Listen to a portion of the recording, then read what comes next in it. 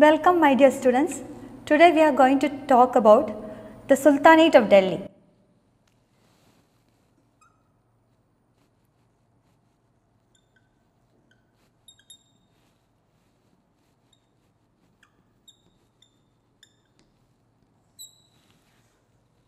The period between 1206 and 1526 AD in Indian history is regarded as the age of Sultanate of Delhi. The period between 1206 AD to 1526 AD can be known as the age of Sultanate of Delhi. There were five dynasties during this period. First one is slave dynasty. Then second one is Khilji dynasty.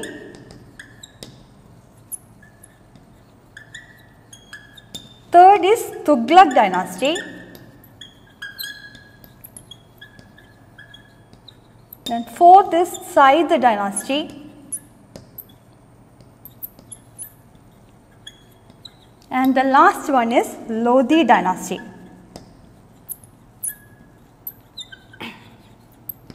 So, the Sultanate of Delhi extended from slave dynasty in 2016 AD and it entered on with the Lodi dynasty with the last Lodi ruler Ibrahim Lodi who was defeated by Babur in the famous first battle of Panipat in 1526.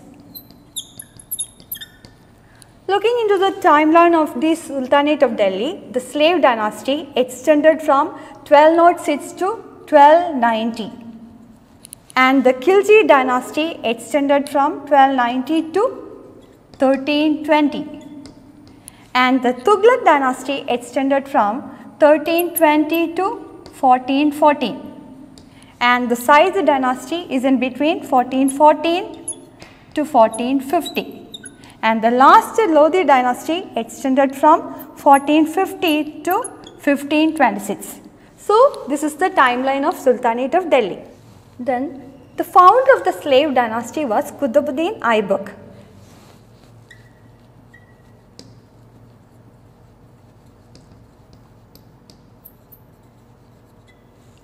He extended his rule from 1206 AD to 1210 AD.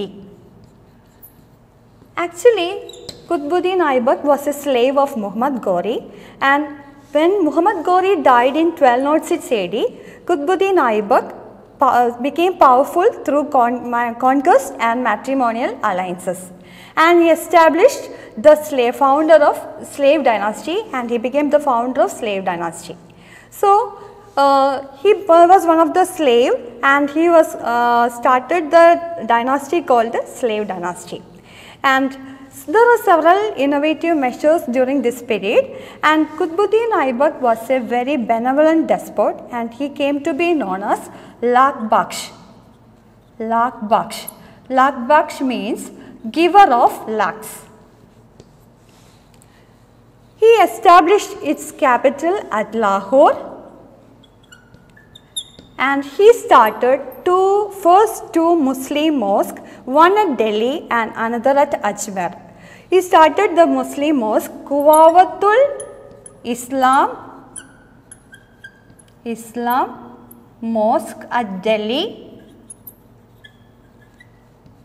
and another one is one at Adai Dinka Jopura mosque at Ajmer. Adai Dinka Jopura at Ajmer.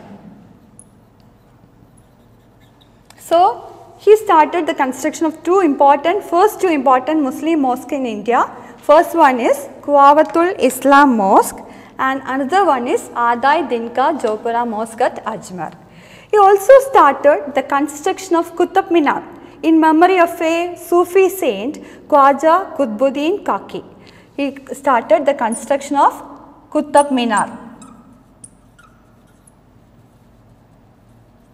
But he was not able to complete the construction as he died on I died in 1210 AD while he was playing a game uh, called Chaugan or Polo. So Qutbuddin Aibak could rule only for two, six, uh, for sorry, four years and he was called the Lakh Baksh or giver of lakhs and his capital was at Lahore and he constructed or started the construction of two important Muslim mosques. One was Quwwatul Islam Mosque at Delhi and next one is Adai Dinka Jopura Mosque at Ajmer. He also started the construction of Qutub Minar in memory of a Sufi saint Khwaja Qutbuddin Kaki. Later, the immediate successor of Qutbuddin Aibak was Aram Shah but he was a very weak ruler and he could and he was immediately succeeded by another important ruler Shamsuddin Iltutmish. He was also a slave and he was the son-in-law of Qutbuddin Aibak. Shamsuddin Iltutmish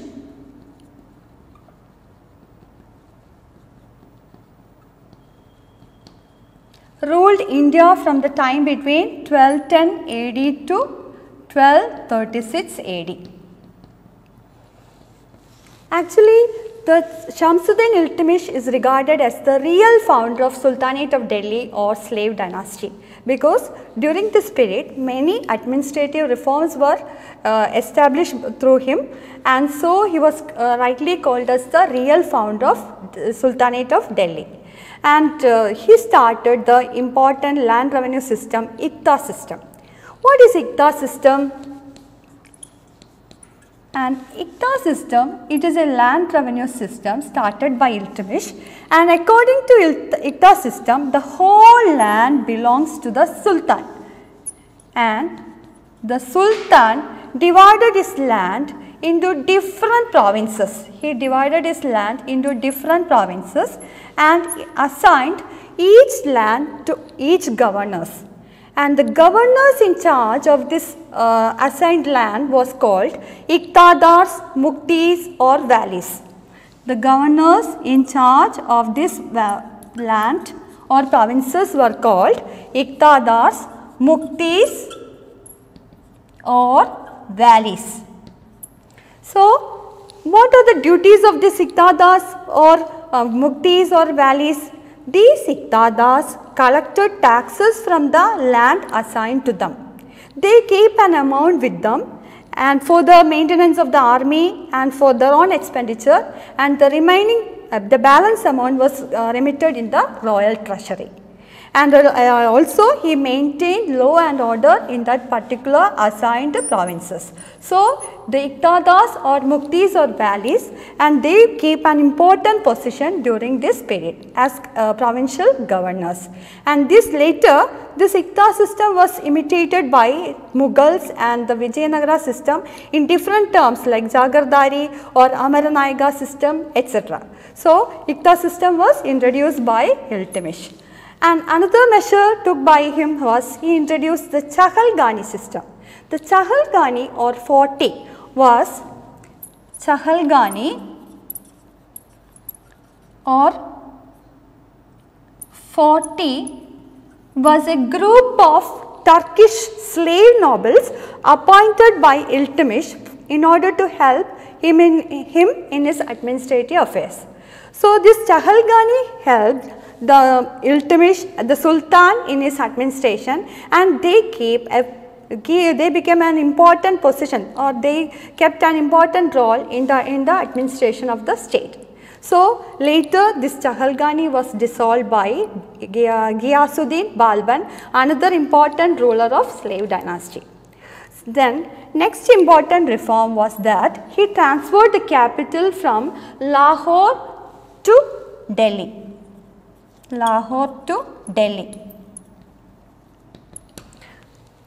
Iltutmish uh, transferred his capital from Lahore to Delhi and also he founded two basic coins of the Sultanate, silver tanka and copper jital. Two basic coins, silver tanka and copper jital.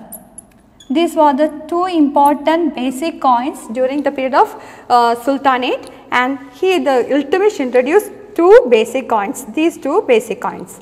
And our last one, last important reform was that he completed the construction of Qutub Minar in the year 1220 AD. Completed the construction of Qutub Minar. The Qutub Minar also also construct, uh, completed by the construction of the Qutub Minar was completed by Iltutmish. So we can rightly call him as the real founder of Sultanate of Delhi. Hope uh, so. Um, Qutbuddin Aibak and Shamsuddin Iltutmish were the early founders of the Delhi Sultanate. Hope you have understood about the early founders of the Delhi Sultanate.